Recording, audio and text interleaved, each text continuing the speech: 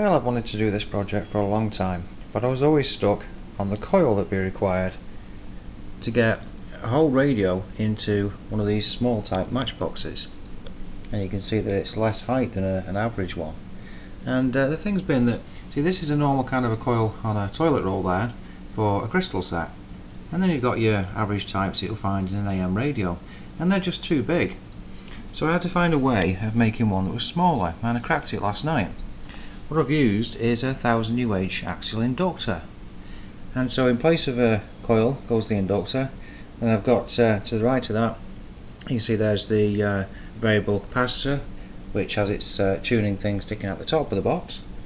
And then I've used as few parts as I could to create a circuit that would fit inside the matchbox. So I'll show it running next, and then inside the box itself so you can see how everything's put together.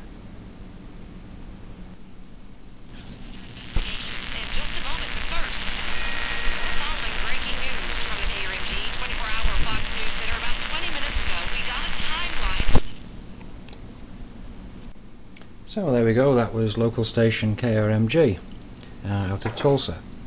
So now we'll open it up, let's have a look inside.